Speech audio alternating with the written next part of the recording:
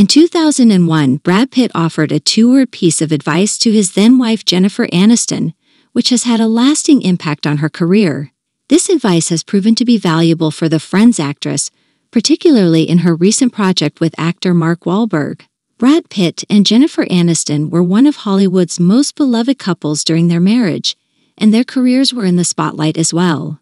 In 2001, as Jennifer Aniston was navigating her acting career, Brad Pitt shared a simple yet impactful piece of advice with her.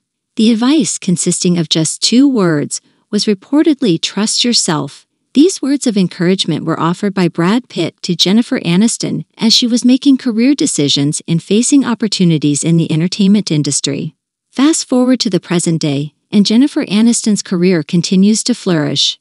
She has remained a prominent figure in Hollywood with roles in film and television, including her iconic portrayal of Rachel Green on the hit TV series Friends. One of Jennifer Aniston's recent projects was her collaboration with actor Mark Wahlberg. The two stars teamed up for a film project that garnered significant attention and excitement from fans and the industry. Brad Pitt's advice to trust yourself has resonated with Jennifer Aniston throughout her career. It reflects the importance of self confidence, belief in one's abilities, and the ability to make decisions that align with one's goals and values.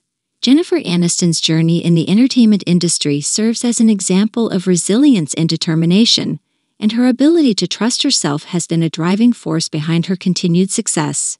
In conclusion, Brad Pitt's two word advice to Jennifer Aniston in 2001, Trust Yourself, has played a significant role in her career. It reflects the importance of self confidence and the ability to make choices that align with one's aspirations.